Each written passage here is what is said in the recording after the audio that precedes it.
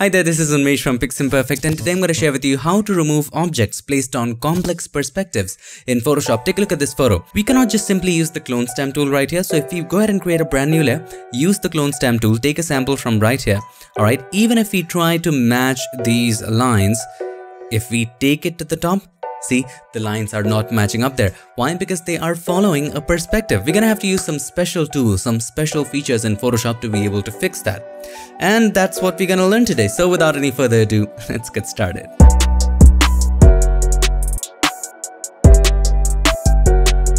Before we begin, this video is sponsored by Wacom Tablets. And you already know I've been using one for years and years since I was a baby. Just kidding. If you are on your journey of mastering Photoshop, a graphic tablet is one of the best investments you can make because it gives you two things, precision and pressure sensitivity and that's common to all graphic tablets. The one that I recommend is the Wacom Intuos Pro line. That's one of my favorites. I use the medium sized. So what happens is that it's not like a mouse which is either switched on or switched off there are levels of pressure and according to pressure you can control a plethora of things. You can control the brush size, opacity, flow, scattering and take advantage of the features of some of the most advanced brushes in Photoshop. For example, if I go ahead and select the Kyle Ultimate Inking Thick and Thin, have a look. As I tilt the pen, the angle of the brush changes and that helps the brush to act very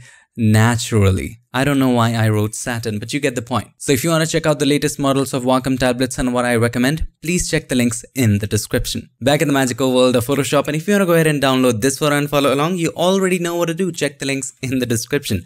Now, the first thing is remove the easy stuff. That's step one. So now we know that we can easily cover the top part of the plant with the wall, and it's easy to do with the clone stamp tool. However, it would leak into the table and the chair. So we need to make a selection to limit that. And the best way to do it is with the pen tool. So press P for the pen tool. Don't forget the shortcut for the pen tool is, it's right in the name, P. So let's start making a selection. So I'm going to start right in here just to stay a little on the safer side. And if you want to learn how to use the pen tool, go ahead and watch this guide. The more patient and accurate you are with the pen tool, the better the result you're gonna get. Now, to turn a curve into a corner, just hold the Alt key or the Option key, click on it, and then it's now a corner. Click and drag to draw a curve. If you want to adjust anything, just hold the control or command and then adjust these points. Now you can go ahead and select some extras and finish the loop. Alright, once you have created the path, I would highly recommend to save it for later because who knows, maybe you might need it. So go to the Paths tab right here. If you cannot see it, go to Window and then make sure Paths is checked. Now just rename the work path to something, right? To just something, all right? Anytime you want to have access to it, all you got to do is to just select that and you have the access to it. You will never lose it. To turn this into a selection, what do you do? There are lots of ways. One of the ways is holding the control or command and clicking on the thumbnail of the path. Now, before applying the clone stamp tool, we cannot just directly apply the clone stamp tool and apply it right here because that will give a very sharp edge. We want some feathering on it, some softening on it. So what do you do? Go to select, modify and then feather. Let's apply a feather of one or two pixels. One would be more than enough in this case. Now it might differ according to the resolution and you can do some trial and error to find out. Just do one stroke, see how it feels and it will clearly give you an indication whether you want to increase or decrease the feather. So with the clone stamp tool selected on a brand new layer, make sure you are in the layers panel. Just take a sample from above the plant and start painting right here. That's all you gotta do. And we have that taken care of. Press Ctrl or Command D to deselect. And there you go. Have a look. The better the selection, the more patient you are with the pen tool, the better results you're gonna get. Now again, my friend, we need to take care of these leaves and we might need the selection again, but I accidentally pressed Ctrl or Command D and we might have even gone a couple steps into the future we want the selection back. We don't want to undo stuff. So how do you get the selection back? And that's why I asked you to save the path. Just go to the paths tab, hold the control or command, click on the thumbnail to get it back. If you want to feather it, you can do that as well by going to select, modify and then feather.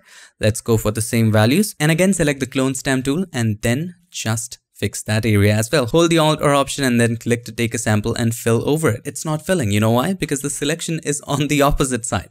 Press Ctrl, Shift and I to invert the selection.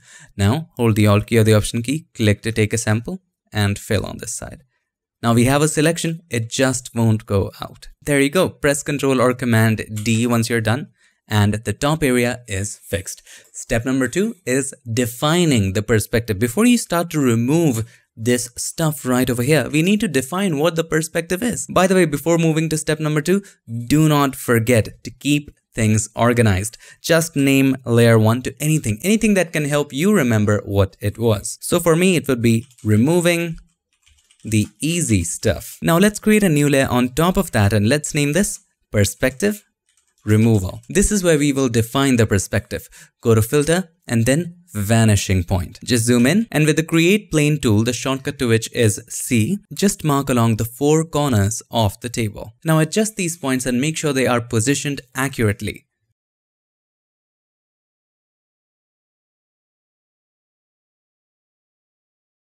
Now, even though everything is so well aligned, there's still a gap right there because in the real world, my friend, things are just a little twisted, uneven or bent, just like my right nostril is a little bigger than my left one or the vice versa. I don't really remember. But now that you have defined the perspective, everything you do inside it in this dialog box will maintain the perspective. For example, even if you try to paint with something, so let's say I'm painting with white, it maintains the perspective. The further we take it, the smaller it becomes. The closer we bring it, the larger it becomes. And it adjusts its shape according to the perspective. Let's go back by pressing Ctrl or Command Z. Now it's time for us to move to step number three, which some of you might have already guessed, and that is cloning in perspective. If you have not noticed yet, there's also a clone tool that you can work with in the perspective. And in here, if you try to clone, the lines will match up. Now in the clone settings, there are some options. Diameter is simply the size of the brush. Hardness is simply the hardness of the brush. We want it to be absolutely soft. So we keep the hardness at zero. Opacity is the opacity of the brush and this is an important one. Do you want to turn on the healing or do you want to keep it off? So what does healing do? To understand this, let's first learn what healing does not do. So if you turn off healing, now when you try to sample from a place by holding the Alt key or the Option key, click to take a sample and then now you try to paint something right here okay?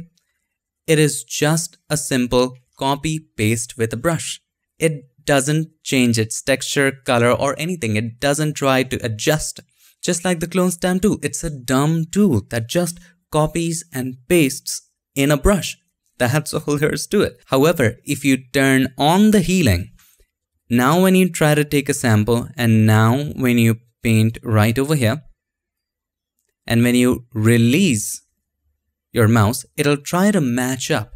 It did a pretty bad job because we didn't cover everything, but it tries to match up. And sometimes dumb works better because then it's just straightforward and we have complete control over it. So in this case, we're just gonna turn off healing. We want it to be dumb so that we can control them. Now all you gotta do is let's start from right here hold the Alt key or the Option key, click to take a sample, and then let's start painting. Match up the lines, make sure everything is aligned, and then start painting. Alright, this much is fine for now. Now I would suggest avoiding doing all at once. Doing bit by bit gives you more control over it and keeps the tone smoother. Take a sample from right here again. Hold the Alt key or the Option key, click to take a sample, and then we will try to paint right over here. See we made the brush a little too big and it's also bringing up the edge of the path. Let's try it again. Make the brush a little smaller this time. Take a sample again and start painting. Make sure everything is aligned. It's okay, you don't have to do all at once. Do bit by bit, otherwise you will begin to see lines right over here.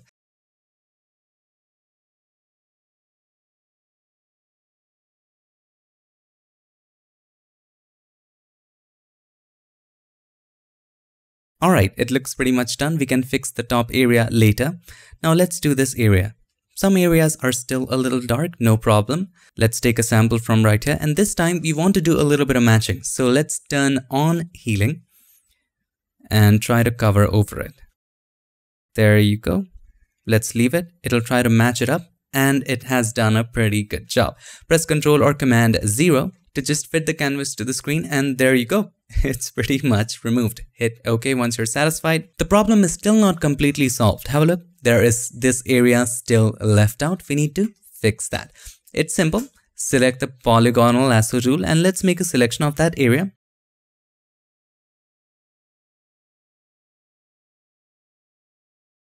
To keep it smooth, just give it a little feather by going to select and then modify feather. One pixel is fine, hit OK. And then with the help of the clone stamp tool, just take a sample by holding the Alt key or the Option key, click to take a sample, make sure sample current and below is selected, and then just paint. Easily fixed. Press Ctrl or Command D to deselect, and there you go. That's how to remove objects placed on complex perspectives with Photoshop. Let's do a quick little recap. Step number one, remove the easy stuff with the help of the clone stamp tool or the healing brush tool, the patch tool, whichever is your favorite. Step number two, define the perspective by going to filter and then vanishing point. Just define the plane. Once you have defined it, just remove or clone in perspective by using the clone stamp tool right in there. And we learned healing. What is healing if you keep it turned off and turned on? If you keep it turned on, it'll try to match the cloned area with the surrounding areas. If you keep it turned off, it is just a simple copy and paste in a brush just like the clone stamp tool. And step number four is simply finishing touches, removing little defects here and there. And that's all there is to it. So that's all for this video. I would like to take this moment to thank all these nice and amazing people for supporting Piximperfect on Patreon and helping me keep Piximperfect free for everybody forever. Thanks so much for watching. I'll see you in my next one. Till then, stay tuned and make sure that you keep creating.